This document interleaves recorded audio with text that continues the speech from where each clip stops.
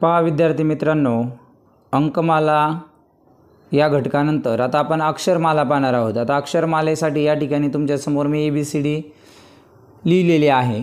आता या A B C डीवर डावीकडून किंवा उजवीकडनं असे काही प्रश्न विचारलेले असतात अक्षरांचे क्रमांक विचारलेले असतात.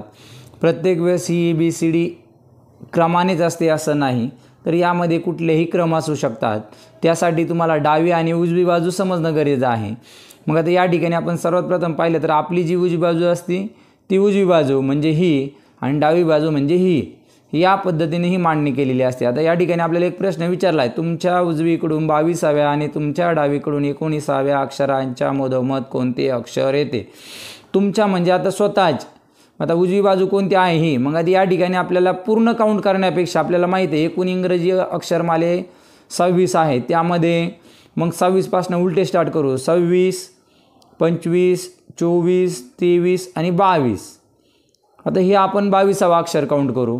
पुढं काय विचारलं आहे तुमच्या डावीकडून एकोणीसाव्या डावीकडनं म्हणजे इकडनं. मग आता एकोणीसाव्या आपल्याला अंकांचे जर आपण क्रमांक जर पाहिले तर यस हा अकरा अक्षर येतं आहे की जे एकोणीस नंबरला येते तुम्ही मोजून पण पाहू शकता. बघा एक दोन तीन चार पाच सहा सात आठ नऊ दहा अकरा बारा तेरा चौदा पंधरा सोळा सतरा अठरा एकोणावीस. त्याच्या मधोमध येण्यासाठी म्हणजे कुठली तरी या संख्येच्या एकदम मध्यभागी. मग आता आपल्याला काउंट करायचे. एक दोन तीन चार